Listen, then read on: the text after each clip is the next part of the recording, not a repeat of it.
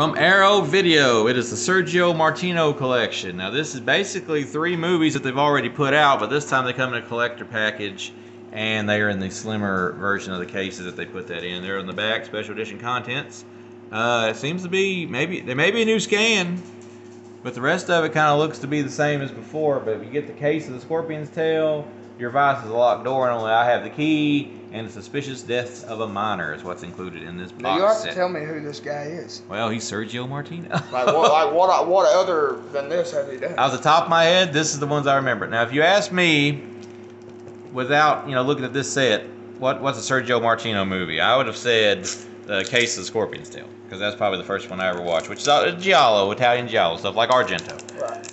But uh, some people might be more inclined to tell you about um, your device is a locked door and only I have the key. You having a, a good time? This one does not. This one don't open like the other ones did, which I guess they don't want you to slice this one all nice. They want you to just take the plastic all off of this. So I guess we're gonna do it.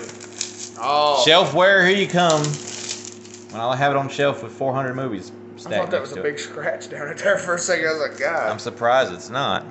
Yeah, yeah. Thank you, thank you, Amber. Either way, let's pour these out of here. Like I said, they're in the slimmer cases. You might recall seeing some of these on my shelf in bigger cases.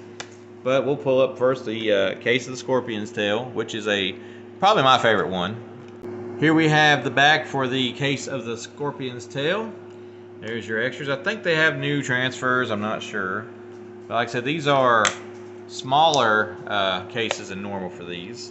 There- cool? there is a reverse cover for that. This was a movie forever. I was waiting on to come on Blu-ray before, and then it finally came on Blu-ray because I remember having the old Blue Underground DVD of it back in the day. They make uh, they make some pretty cool disc in that stuff. This is one of the thinner boxes they've done. I'm a little surprised this is, this is thinner than normal, but I mean that'd be just nitpicking to complain about it. And here is your vice is a locked room, and only I have the key. I think I said a locked door earlier. But uh, this was a part of another set at one time of Giallo movies, and now of course here it is in this set, which That's kind of plain, isn't it? it is kind of a little bit plain. 2K restoration on that deal. I think pretty well the same as what you get before. It's just all his movies together. So that's that's nothing to, to worry about. The suspicious death of a minor.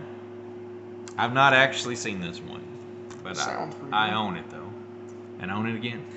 But uh, there's the alternate cover on that one with the Italian name.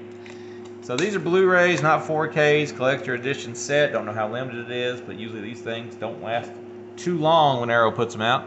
That's the Sergio Martino collection from Arrow Video. Out now. Go pick it up.